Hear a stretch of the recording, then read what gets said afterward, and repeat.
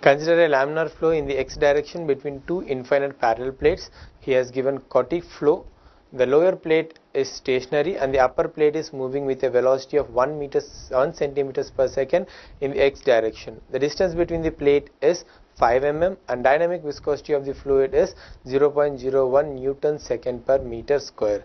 If the shear stress on the lower plate is 0 then the pressure gradient dou p by dou x rounded off to one decimal place is given to you as Couette flow. In flow what happens is there will be two plates in which the bottom plate is fixed and upper plate will be moving with some velocity. Bottom plate is fixed and upper plate is moving with some velocity and the velocity is given to you as 1 centimeters per second. Velocity is given to us 1 centimeters per second.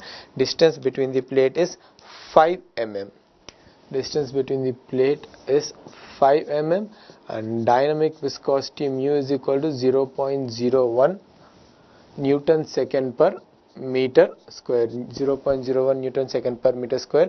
If shear stress on lower plate shear stress on lower plate is 0 pressure gradient is dou p by dou x pressure gradient is dou v by dou x. So how will you calculate tau? Tau is equal to mu v by b plus plus minus of dou p by dou x into b by 2 minus y.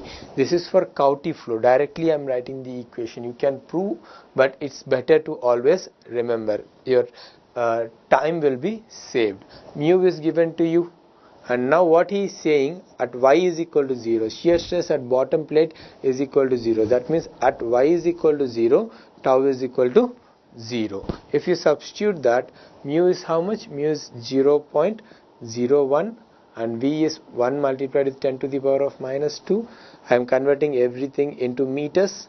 5 into 10 to the power of minus 3 minus dou p by dou x b by 2 5 into 10 to the power of minus 3 by 2 minus 0 from this if you substitute you'll get dou p by dou x as 8 newton per meter square per meter.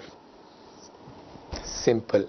The idea is only to remember these type of equations. There are other type of equations like you know both plates are fixed bo both plates are fixed. For that remember the equation. And if the flow is occurring through the pipe laminar flow is occurring through the pipe remember the equation. If you remember the equations uh, problems will be solved at fast rate. Thank you